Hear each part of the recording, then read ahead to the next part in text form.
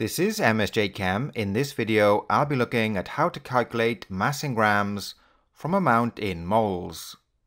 In a previous video, we looked at how to use this equation to calculate the amount in moles from mass in grams and molar mass.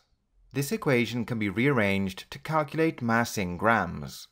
So mass in grams equals amount in moles multiplied by molar mass. Here we have an easy way to remember this equation. Lowercase m, which is mass in grams, equals n, which is amount in moles, multiplied by uppercase m, which is molar mass. So next, we look at some examples.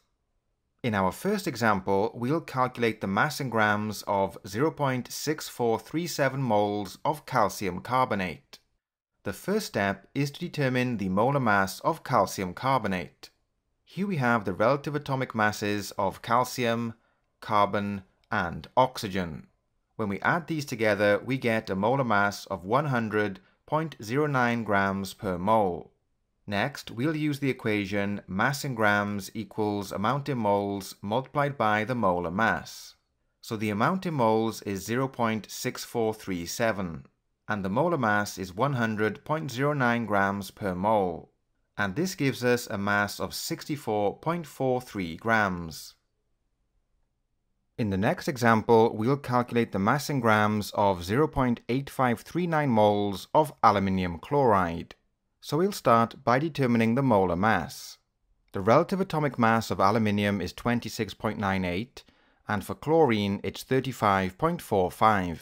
When we add these together we get a molar mass of 133.33 grams per mole. Next we multiply the amount in moles by the molar mass and this gives us a mass of 113.9 grams. In the final example, we'll calculate the mass in grams of 1.379 moles of glucose, which is C6H12O6.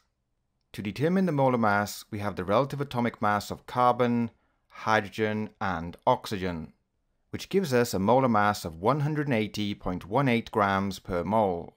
We then multiply the amount in moles by the molar mass, which gives us a mass of 248.5 grams.